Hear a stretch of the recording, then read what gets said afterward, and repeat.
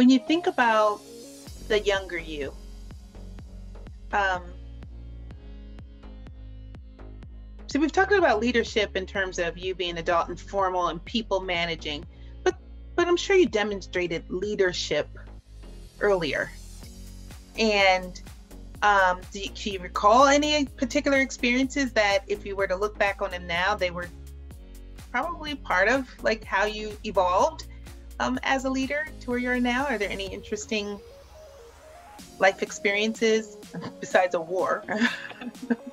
yeah, for sure. So, uh, yeah, when I when I was uh, let's see, uh, uh the Trevor Project, you know what mm-hmm. that is? Mm-hmm. I'm sure you do. Yeah. So I, I, was a I was a helpline counselor for the Trevor Project when I was in grad school, way before it was cool.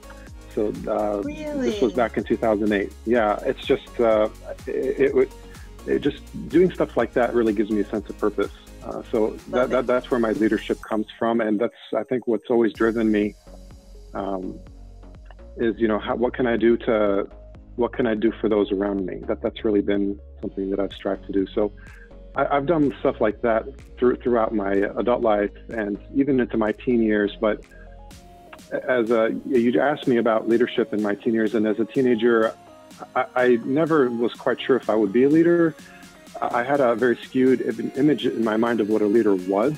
Ooh, okay. So in my mind, yeah. So th- this comes from growing up in a, which is not, not a good thing or a bad thing, but you know, we, we grew up in a, in a heteronormative word world and in my mind, I always equated being a leader to, in a sense, being being like a be a man, that kind of thing.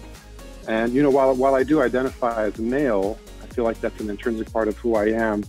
Uh, being a man for me, I see that more as like a, as a performance, as kind of a, a role per se.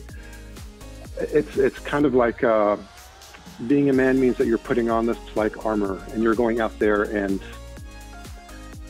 and and I think later on in life I realized over uh, over my experiences that for me being a leader meant taking off that armor and actually just being authentic and allowing myself to be vulnerable and really taking courage in just speaking my truth.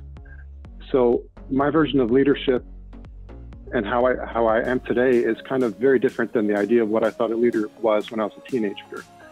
So I think there's a lot of value in, in, highlighting different kinds of leaders because we want to give, especially LGBTQ teens, we want to give, let them know that uh, there's someone like you uh, that, that, that is a leader, and uh, it helps give them a voice, and it helps, uh, what can I say, it empowers them, I would say. Does, does that make sense?